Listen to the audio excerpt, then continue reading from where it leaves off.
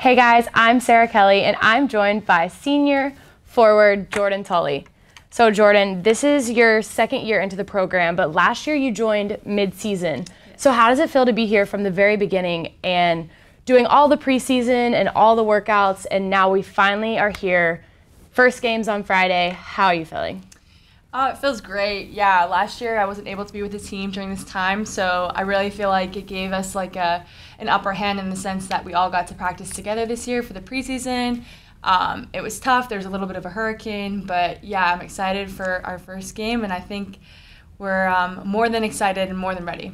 Last season, you shot nearly a 60% average from the field. How do you improve upon that, and what did you do this off season to become better? Yeah, well, I definitely want to give a shout out to my teammates. You know, they're great passers, and that's why I was able to um, almost average 60%.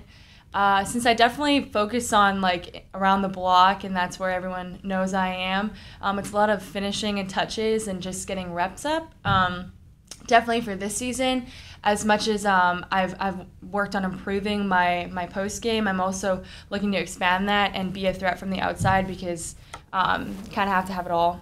So, with the Elite Eight run last year and that experience, can you talk about how the returning players that affects their mindset and how they focus more in practice this year? For sure. So, we have actually only three newcomers. So, this year we're kind of more of a returning squad. And in saying that, I really think it kind of gives us, gives us an advantage since we were able to go to the Elite Eight and able to see where we want to return to this year. So, I think it really helped. Um, helped us with when the newcomers came to kind of get them um, get them with the lingo and get them with what kind of work ethic we need. Um, but yeah, I definitely think that like uh, the leadership on this team is is it's improving and it's it's pretty good. So I think that um, moving forward, the the mindsets are all in the right place. We we know what we have to do. And it's your last season playing basketball, last year at Nova. What will be a successful season for you?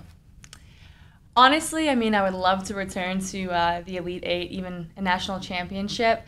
But I'm really just looking to have some fun with our team. I think we have a great team and great people, and I really just hope we can just play for each other. And honestly, that's successful to me. Awesome. Thank you so much, Jordan, for joining me, and good luck this season. Thanks.